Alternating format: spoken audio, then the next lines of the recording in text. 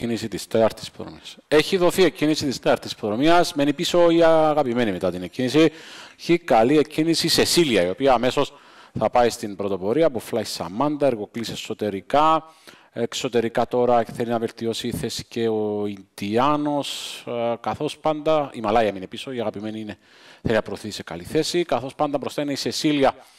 Θέλει εξωτερικά ο Ινδιάνος να πλησιάσει. Θέλει εξωτερικά και η αγαπημένη να πλησιάσει. Εσωτερικά πάντα τρέχει και ο Εργοκλής. Πάμε για το τελευταίο τετρακοσάρι πάντα μπροστά στην ε, πρωτοπορία. Είναι η Σεσίλια. Ο Εργοκλής ψάχνει ένα περάσμα εσωτερικά για να περάσει αυτό στην ε, δεύτερη θέση και να προσπαθήσει να καταδιώξει. Πάντα στην πρωτοπορία είναι η Σεσίλια που προσπαθεί να κρατήσει την διαφορά και φαίνεται ότι έχει τις ε, δυνάμεις για να κρατήσει την διαφορά από την Ιμαλάια.